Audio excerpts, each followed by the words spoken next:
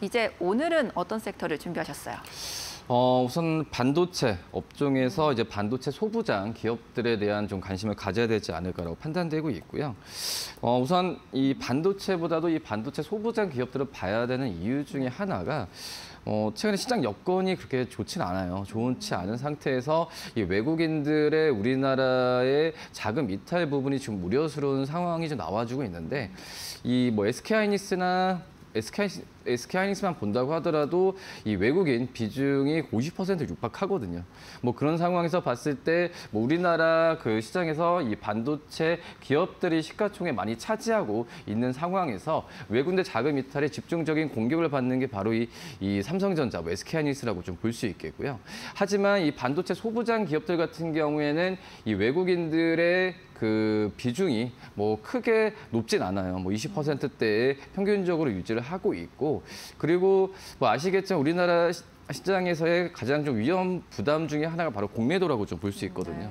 뭐 그러기 때문에 외국인들의 어떤 비중이 어, 많은 기업들 같은 경우에 공매도에 타깃이 될 수 있는데 뭐 그런 점에서 이 반도체 소부장 기업들이 반도체 어, 전방 대기업들보다도 어, 이런 측면에서 봤을 때는 주가나 여러 가지 면에서는 좀 메리트가 지금 이제 어, 우리나라 시장에서 좀 있지 않을까라고 좀 판단이 되고 있고 물론 이제 이 반도체 뭐 이런 수급적인 면에서도 메리트도 있긴 하지만 지금 현재 그 반도체 부족 현상에 대한 어, 부분이 뭐 글로벌적으로 좀 우려스러운 상황인데 그렇기 때문에 반도체 전방 기업들 같은 경우가 어, 나중에 어떤 반도체 쇼티지를 어, 계속 대비를 해서 반도체 이 장비 그리고 부품 업체들한테 수주를 미리 주는 그런 상황으로 좀 가고 있다라고 좀 말씀드릴 수 있겠고요.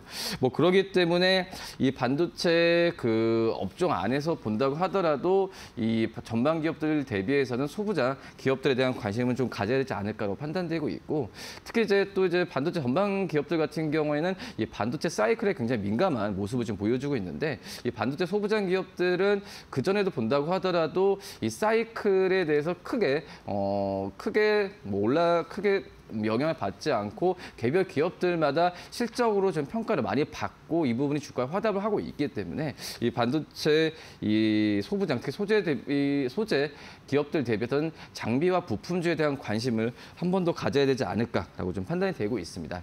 뭐 그리고 이 반도체 뭐 장비 업체들 중에서도 이 종목들마다 많이 그 엇갈리거든요. 네. 뭐 그러기 때문에 1분기 실적이 좀 earning surprise가 나오는 기업 위주로 본다고 하면은 제가 본다고 하더라도 2분기 때는 이 반도체에 대한 이 가동률이 전체적으로 다 증가할 가능성이 크기 때문에 1분기 때 earning surprise 나온 기업들이 2분기 때도 실적이 우상향 추세로 갈 확률이 굉장히 높다고 좀 판단되고 있어서 뭐, 뭐 예를 들어서 뭐 심텍, 뭐 하나마이크론, 원익 QNC 같은 이런 기업들에 대한 관심을 일차적으로 갖는 게 어, 낫지 않을까라고 좀 생각이 되고 있고요. 그리고 이제 음, 반도체 소부장 기업 들 같은 경우에 뭐 작년에만 본다고 하더라도 스마트폰 출하량이 뭐 전년보다 5% 증가한 수준에 그쳤거든요. 하지만은 지금 현재는 신제품 출시에 대한 부분이 5, 6개월 전에 반도체 이 장비 업체들한테는 그 부분이 수주로 다가오고 있기 때문에 어 지금 어느 정도 하반기 때 연말을 대비한다면은 지금 반도체 이 장비 업체들, 부품 업체들한테는 수주가 크게 늘어날 기간이 이번에 2분기를 전후이지 않을까라고 좀 판단되고 있고요. 뭐 그러기 때문에 어 2분기 전후가 아니라 3분기 어떻게 보면 전후가 바로 이제 수주가 몰릴 시기라고 좀 판단이 되고 있어서 이 반도체 장비와 부품 업체들 관심있게 봐도 괜찮지 않을까 이렇게 판단됩니다.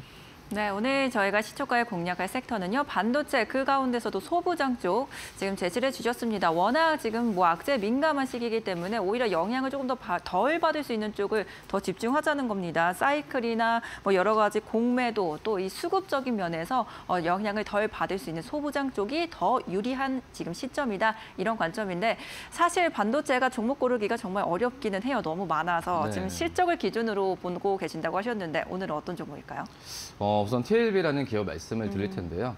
오늘 좀 말씀하셨다시피 반도체 이 중소형 어, 기업들은 굉장히 많고 네. 탑픽 종목이 뭐 방송을 보시는 시청자분들께서도 어, 여기 출연하시는 분들이 하나씩 말씀드리는 게 다. 탑픽이에요. 네. 어떻게 보면 서두에 말씀드렸던 원익QNC, 뭐 하나모터를 다 이런 좋은 종목을 볼 수 있겠는데 저는 그래서 이 TLB라는 기업이 반도체 부품 업체들 중에서 제일 좋다라는 것보다도 이 TLB를 좀 소개시켜 드리고 어제 같은 경우에 1분기 실적이 90억이 나오면서 예상치가 좋았거든요. 그러면서 거래량과 함께 양봉을 크게 나온 상태라고 좀 말씀드릴 수 있겠고요. 뭐 그러기 때문에 단기적으로 봤을 때 TLB에 대한 어떤 그 매수세 그 어제 상승 랠리가 이어질 가능성이 크기 때문에 지금 TLB를 말씀을 드리는 부분이고 이 TLB는 아시다시피 이제 메모리 쪽 기판이라 메모리 모듈 기판 쪽이라 볼 수 있겠는데 가장 큰 장점은 이 아시게 뭐 PCB 뭐 우리 FPCB 굉장히 많거든요. 뭐 기판 업체들이 하지만 이 TLB 같은 경우는 SSD 기판 쪽에서 특화되어 있는 기업이기 때문에 이 지금 반도체 전체적으로도 DDR4에서 DDR5로 넘어가는 어 넘어가는 그런 시기 때 이 기판에 대한 업그레이드에 대한 부분이 굉장히 요구, 요구가 되고 있는 상황이다라고 말씀드릴 수 있겠고요. 그렇기 때문에 이 SS 이 SSD 기판 쪽에서의 그 특화를 보내 보이고 있는 이 TLB에 대한 향후에 봤을 때도 계속 수주나 여러 가지 면에서 늘어날 가능성이 크다라고 좀 판단이 되고 있고 그래서 우려 약간의 어떤 실적이나 부분에 있어서 그 전에 좀 우려스러운 부분이 있었지만 이제 어제 뭐 TLB의 영업이익을 본다고 하더라도 2, 3분기 때는 그 이상에 대한 영업이익 기대를 해도 괜찮지 않을까라고 판단되고 있고 지금 SSD 어떤 기판 쪽 같은 경우에는 다른 기판 대비해서 이 판가가 높기 때문에 마진 구조가 굉장히 좀 좋다라고 말씀을 드릴 수 있겠습니다. 뭐 어제 뭐 4만 5,500원에 끝났는데 1차전 목표가 4만 8천 원, 손절가 4만 원 말씀드립니다. 네, 오늘 시주가의 공략할 종목 TLB 선정을 해주셨습니다. 우선은 단기적으로 이런 수급적인 부분들이 좀 이어갈 수 있다는 부분들 체크해 보시면 좋을 것 같고요. 목표가 4만 8천 원, 손절가 4만 원 제시해 드릴게요. 지금까지 이성웅 차장과 함께했습니다. 감사합니다. 네, 감사합니다.